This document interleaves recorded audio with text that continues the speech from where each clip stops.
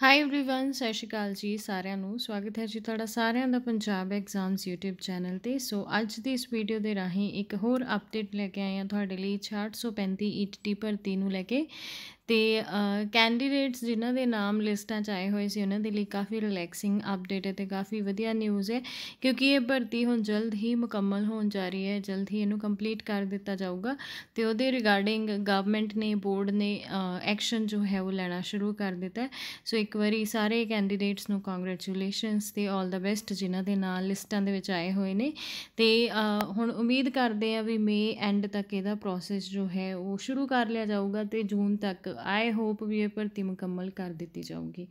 ਠੀਕ ਹੈ ਜੀ? ਸੋ ਦੇਖਦੇ ਆ ਵੀ ਅਪਡੇਟ ਕੀ ਆਈ ਹੈ ਤੇ ਕਿਹੜੀਆਂ ਲਿਸਟਾਂ ਜਾਰੀ ਕੀਤੀਆਂ ਗਈਆਂ ਨੇ ਬੋਰਡ ਵੱਲੋਂ।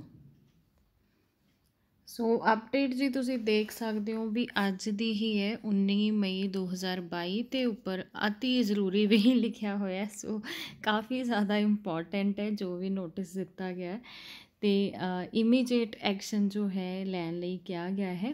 ਸੋ ਆਪਾਂ ਰੀਡ ਕਰਦੇ ਹਾਂ ਨੋਟਿਸ ਇਸ ਦਫ਼ਤਰ ਦੇ ਹੁਕਮ ਨੰਬਰ ਸਪੈਸ਼ਲ ਭਰਤੀ ਡਾਇਰੈਕਟੋਰੇਟ 2022 ਦਾ ਜਿਗੇ ਨੰਬਰ ਦਿੱਤਾ ਹੋਇਆ 22 ਅਪ੍ਰੈਲ 2022 ਰਾਹੀਂ ਲੜੀ ਨੰਬਰ 1 ਤੋਂ 25 ਤੱਕ ਦਰਸਾਏ ਅਧਿਕਾਰੀਆਂ, ਕਰਮਚਾਰੀਆਂ ਦੀ ਆਰਜੀ ਡਿਊਟੀ ਐਚਟੀਸੀਐਚਟੀ ਦੀ ਭਰਤੀ ਦਾ ਕੰਮ ਮੁਕੰਮਲ ਕਰਨ ਲਈ ਇਸ ਦਫ਼ਤਰ ਵਿਖੇ ਲਗਾਈ ਗਈ ਸੀ।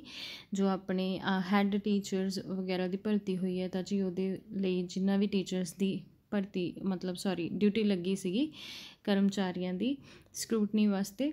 ਸੋ ਉਹਨਾਂ ਦੇ ਰਿਗਾਰਡਿੰਗ ਹੈ ਨੋਟਿਸ ਇਹ। ਮਾਨਯੋਗ ਹਾਈ ਕੋਰਟ ਵੱਲੋਂ civil writ petition number 15486 of 2021 Harvinder Singh ਅਤੇ ਹੋਰ ਬਣਾ ਪੰਜਾਬ ਸਰਕਾਰ ਅਤੇ ਹੋਰ ਦੇ ਕੇਸ ਵਿੱਚ ਮਿਤੀ 16 ਮਈ 2022 ਨੂੰ ਵੱਲੋਂ ਕੋਰਟ ਵੱਲੋਂ ਕੀਤੇ ਅੰਤਰਿਮ ਹੁਕਮਾਂ ਦੀ ਪਾਲਣਾ ਕਰਦੇ ਹੋਏ ਇਨ੍ਹਾਂ ਅਧਿਕਾਰੀਆਂ, ਕਰਮਚਾਰੀਆਂ ਦੀ ਆਰਜੀ ਡਿਊਟੀ ਵਿੱਚ ਵਾਧਾ ਕੀਤਾ ਗਿਆ ਹੈ ਤੇ ਇਹ ਵਾਧਾ ਕੀਤਾ ਗਿਆ ਜੀ 6835 ਈਟੀਟੀ ਤੇ 22 ਅਸਾਮੀਆਂ ਜੋ ਜੇਲ੍ਹ ਵਿਭਾਗ ਦੀ ਭਰਤੀ ਦੇ ਕੰਮ ਦੇ ਪ੍ਰਤੀਪੂਰਤੀ ਲਈ ਕੰਟੀਨਿਊ ਕੀਤੀ ਜਾਂਦੀ ਹੈ ਤੇ ਲੜੀ ਨੰਬਰ 26 ਤੋਂ 43 ਤੱਕ ਦਰਸਾਏ ਕਰਮਚਾਰੀਆਂ ਦੀ ਡਿਊਟੀ ਤਤਕਾਲ ਸਮੇਂ ਤੋਂ ਦਫ਼ਤਰ ਡਾਇਰੈਕਟੋਰੇਟ, ਸਿੱਖਿਆ ਭਰਤੀ ਡਾਇਰੈਕਟੋਰੇਟ ਪੰਜਾਬ ਵਿਖੇ ਲਗਾਈ ਜਾਂਦੀ ਹੈ।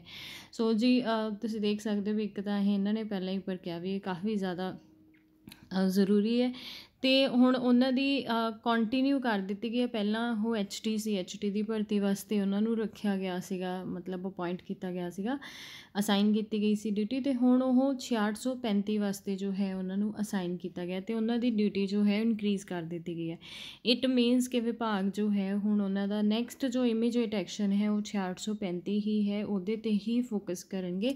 ਸੋ ਨੀਚੇ ਲਿਸਟ ਦਿੱਤੀ ਹੋਈ ਹੈ ਜਿਹੜੇ ਜਿਹੜੇ ਟੀਚਰਸ ਜਾਂ ਜੋ ਵੀ ਕਰਮਚਾਰੀ ਨੇ ਜਿਨ੍ਹਾਂ ਜਿਨ੍ਹਾਂ ਦੀ ਡਿਊਟੀ ਲਗਾਈ ਗਈ ਹੈ। ਠੀਕ ਹੈ ਜੀ ਸੋ ਲੜੀ ਨੰਬਰ ਦੇ ਅਕੋਰਡਿੰਗ ਚਲੋ, ਇਹ ਸਾਰਿਆਂ ਦੇ ਨਾਮ ਦਿੱਤੇ ਹੋਏ ਨੇ।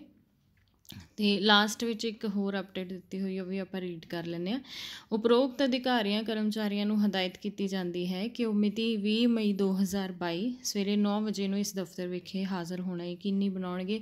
ਸੋ ਜੀ ਇਟ ਮੀਨਸ ਵੀ ਸਵੇਰ ਤੋਂ ਲਾਈਕ ਇਹਨਾਂ ਨੂੰ ਡਿਊਟੀਆਂ ਵਗੈਰਾ ਅਸਾਈਨ ਕਰ ਦੇਣਗੇ। ਤੇ ਨੈਕਸਟ ਵਰਕਿੰਗ ਵੀਕ ਤੋਂ ਆਈ ਹੋਪ ਵੀ ਇਹਦੇ ਤੇ ਜਿਹੜਾ ਪ੍ਰੋਸੈਸ ਹੈ ਉਹ ਸ਼ੁਰੂ ਹੋ ਜਾਊਗਾ ਮੰਡੇ ਤੋਂ ਸ਼ੁਰੂ ਕੀਤਾ ਜਾਊਗਾ। ਤਾਂ ਇਹ ਜੋ ਹੈ, ਇਸ ਵੀਕਐਂਡ ਤੇ ਇਹਨਾਂ ਨੂੰ ਡਿਊਟੀਆਂ ਵਗੈਰਾ ਸਾਰੀਆਂ ਅਸਾਈਨ ਕਰ ਦਿੱਤੀਆਂ ਜਾਣਗੀਆਂ। ਠੀਕ ਹੈ ਜੀ? ਸੋ ਹੋਪ ਕਿ ਵੀ ਇਹ ਭਰਤੀ ਹੁਣ ਜਲਦੀ ਹੀ ਮੁਕੰਮਲ ਕੀਤੀ ਜਾਊਗੀ ਤੇ ਨੈਕਸਟ ਵਾਲੀ ਜੋ ਹੈ, ਉਹਦਾ ਪ੍ਰੋਸੈਸ ਸ਼ੁਰੂ ਕੀਤਾ ਜਾਊਗਾ।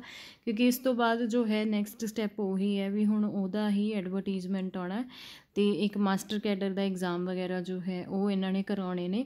ਠੀਕ ਹੈ ਜੀ, ਸੋ 6835 ਵਾਲੇ ਹੁਣ ਰਿਲੈਕਸ ਹੋ ਜਾਣ ਕਿਉਂਕਿ ਹੁਣ ਉਹਨਾਂ ਦਾ ਟਾਈਮ ਜੋ ਹੈ ਆ ਚੁੱਕਿਆ ਤੇ ਜਲਦ ਹੀ ਉਹਨਾਂ ਦੀ ਭਰਤੀ ਜੋ ਹੈ, ਉਹ ਕੰਪਲੀਟ ਹੋ ਜੂਗੀ। ਸਟਿਲ ਅਗਰ ਤੁਹਾਨੂੰ ਕੋਈ ਵੀ ਕੁਐਰੀ ਹੈ ਦੈਨ ਤੁਸੀਂ ਪੁੱਛ ਸਕਦੇ ਹੋ ਕਮੈਂਟ ਬਾਕਸ ਦੇ ਵਿੱਚ ਕਮੈਂਟ ਕਰਕੇ ਤੇ ਉਹਦੇ ਨਾਲ ਨਾਲ ਤੁਸੀਂ ਟੈਲੀਗ੍ਰਾਮ ਚੈਨਲ ਵੀ ਜੁਆਇਨ ਕਰ ਸਕਦੇ ਹੋ ਫਰਦਰ ਅਪਡੇਟਸ ਦੇ ਲਈ ਤੇ ਤਾਂ ਕਿ ਤੁਹਾਨੂੰ ਜੋ ਸਹੀ ਤੇ ਸਟੀਕ ਜਾਣਕਾਰੀ ਹੈ, ਉਹ ਨਾਲ ਦੀ ਨਾਲ ਮਿਲਦੀ ਰਹੇ। ਸੋ ਥੈਂਕ ਯੂ ਜੀ ਥੈਂਕਸ ਫॉर ਵਾਚਿੰਗ